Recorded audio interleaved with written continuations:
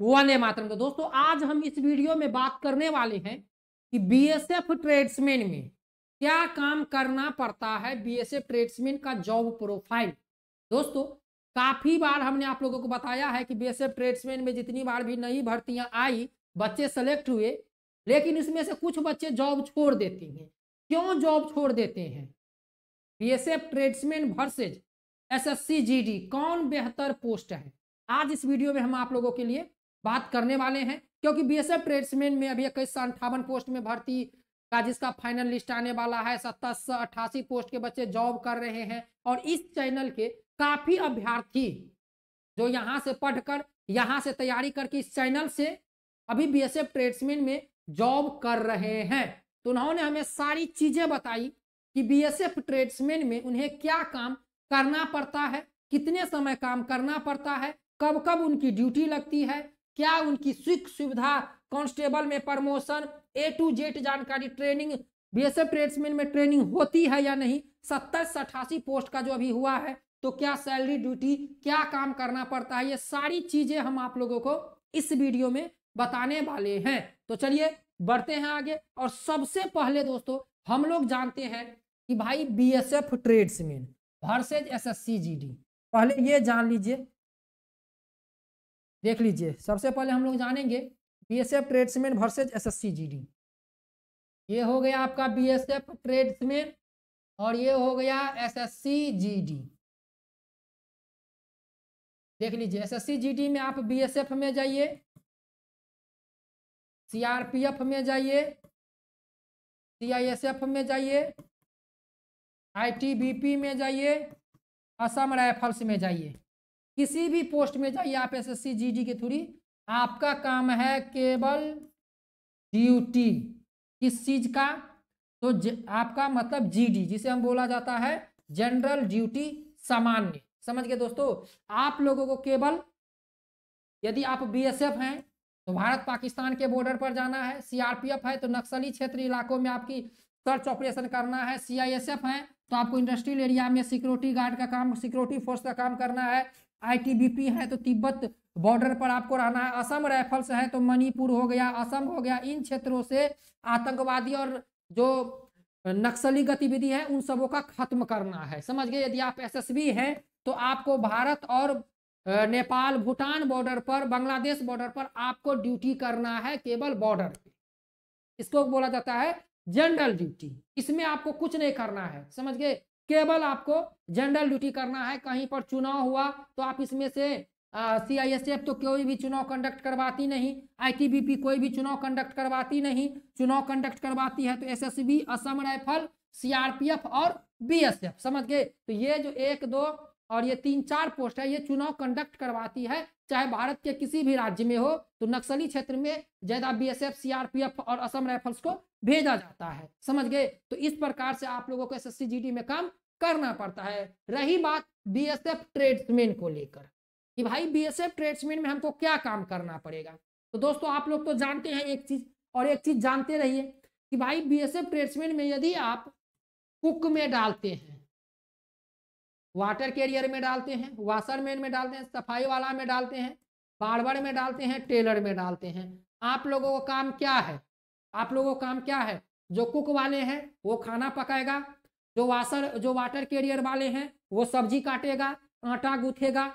जो वाशरमैन है, उनका काम क्या है? कपड़ा धुलाई करना मतलब धोबी का काम। जो सफ़ाई वाला है, उनका काम क्या है? कैंप में झाड़ू लगाना, ऑफ़िस में झाड़ू लगाना ट्रेनिंग सेंटर में यदि आपका ड्यूटी दिया गया तो ट्रेनिंग सेंटर को सफ़ाई करना, कैंप के अंदर जो रोड होते हैं, जो गार्डन होते हैं, जो ऑफ़िस होते हैं, उनकी साफ़ सफ़ाई करना।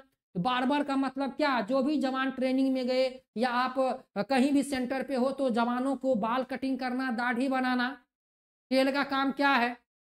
जितने भी जवान वर्क कर रहे हैं, उनको नाप लेना, उनको कपड़े की सिलाई करना। समझ गए? और यहाँ पर मोची भी आता है तो मोची का काम क्या होता है?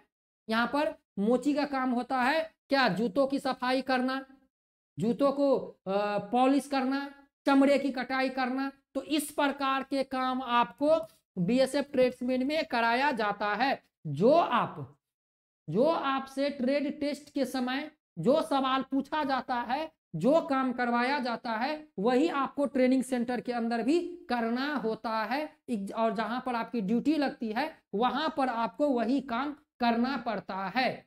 एक चीज़ जान लीजिए, जिस तरह से एस एस वाले को इक्कीस सैतालीस मिलता है राइफल आपको राइफल नहीं मिलेगा। ना आपको राइफल की ट्रेनिंग दी जाएगी। समझ गए? जिस तरह से एस एस वाले राइफल को असेंबल कर लेते हैं फायर करना, जानना, सारी चीज़ें ये आपको मैगजीन भरना, ये सारी चीज़ें आपको नहीं सिखाई जाएगी। समझ गए? अभी जो सत्ताईस सौ अट्ठासी पोस्ट का जो हुआ है दोस्तों, जो 2022 की भर्ती है बीएसएफ ट्रेड्समैन में, उसमें काफ़ी बच्चे तो ट्रेनिंग सेंटर पे गए नहीं। जो गए, एसएससी जीडी का जैसे ही रिज़ल्ट आया तो वह बीएसएफ ट्रेड्समैन की जॉब छोड़कर एसएससी जीडी में चले गए। समझ गए? वह बीएसएफ ट्रेड्समैन की जॉब छोड़कर एसएससी जीडी में चले गए। बीएसएफ ट्रेड्समैन का भी पद काफ़ी खाली रह गया। तो हमने आप लोगों को शुरू में बताया था कि क्यों अभ्यर्थी जॉब छोड़ते थे जॉब इसलिए छोड़ते हैं कि बीएसएफ ट्रेड्समैन में उनको एक कमरे में काम करना होता है। एक जगह पे काम करना होता है। यदि आप जीडी के थ्रू जाइएगा तो पूरा भारत भ्रमण कीजिएगा। आज आपकी वहाँ गए वहाँ गए, उस दे, उस राज गए, उस राज गए, उस राज गए, लेकिन ट्रेड्समैन का क्या? किसी एक कैंप में शिफ्ट हुआ, अपना शिफ्ट है। समझ गए? बस आराम से जो अंदर में कैंटीन है, कैंटीन में अपना काम कीजिए, अपना वर्क कीजिए, नो प्रॉब्लम ना आपको बॉर्डर पे जाना है, ना आपको नक्सली एरिया में जाना है, ना कोई सर्च ऑपरेशन में जाना है, कहीं नहीं जाना है। आप जिस का, जिस पोस्ट में हो, उस पोस्ट का काम आप करते रहिए। समझ गए? एक चीज़ जान लीजिए दोस्तों, कि बीएसएफ ट्रेड्समैन का जो जॉब है, ये 24 गुने सात ये नहीं कि आप आठ घंटा ड्यूटी करो, नौ घंटा ड्यूटी करो। ऐसा नहीं है। यदि काम है तो आप लगातार तीन घंटा, चार घंटा काम करो। नहीं काम है तो बैठे रहो। समझ गए? काम है तो काम करो। नहीं काम है तो अपना बैठो, सो। समझ गए? यही काम है। कुक वाले, हर समय तो खाना पकाएगा नहीं।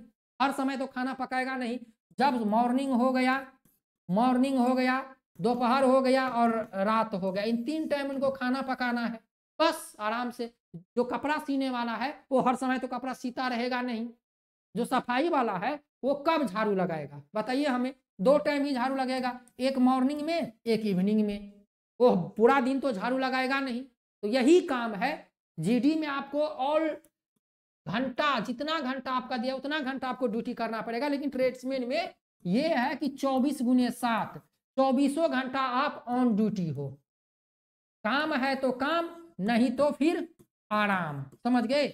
यहाँ से एक चीज़ और है। यदि आप बीएसएफ ट्रेड्समैन या किसी भी ट्रेड्समैन के पद में जाते हो तो आप बीएसएफ ट्रेड्समैन हो या किसी ट्रेड्समैन में तो आप वहाँ से आगे की भी पढ़ाई कर सकते हो अच्छे तरीके से।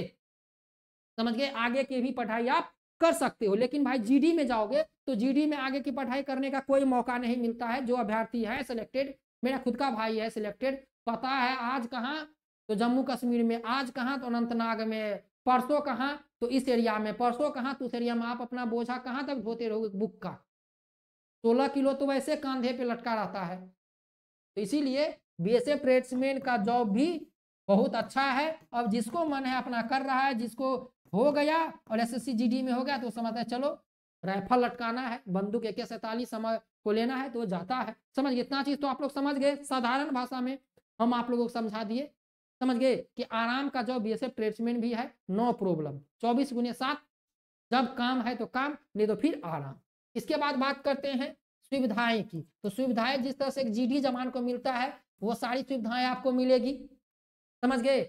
वर्दी की बात करें तो दोस्तों वर्दी जो है, खाकी वर्दी मिलती है, समझ गए? आप खाकी पैंट और व्हाइट टी शर्ट पहन के गर्मी में काम कर सकते हैं। वैसे कुक वाले के लिए तो अलग ड्रेस आता है, वह ड्रेस आपको पहनना पड़ेगा, लेकिन वर्दी जो है, इस बार जो बी एस एफ़ ट्रेड्समैन में सत्ताईस अठासी पोस्ट में अभ्यर्थी ट्रेनिंग करें, उनको वर्दी अभी तक नहीं मिला है, बाकी सब कुछ हुआ है और उनका ट्रेनिंग भी नहीं हुआ। समझ गए? तो ट्रेनिंग का इसमें कम चांस रहता है। सीधा जब आपका ज्वाइनिंग होता है, जब आपका ज्वाइनिंग होता है ज्वाइनिंग तो आप सीधा जाओगे। ज्वाइनिंग होते ही आप यदि कुक में हो तो आपको अपने काम पे चले जाना है, काम करना है। समझ गए? तो यही सारी चीज़ें हैं बी एस ट्रेड्समैन में। यदि आप जॉब कीजिएगा तो आगे जो हमने आप लोगों को बताया, वही सारी चीज़ें होने वाली है। छुट्टी भी मिलेगी, सब कुछ मिलेगा, लेकिन न वर्दी मिलेगी। न बंदूक चलाने को मिलेगा। केवल आराम से भाई अपना रूम, अपना कैंप, अपना कैंटीन से मतलब बस काम करते रहिए, सैलरी पाते रहिए। समझ गए दोस्तों? तो बहुत अच्छा जॉब है।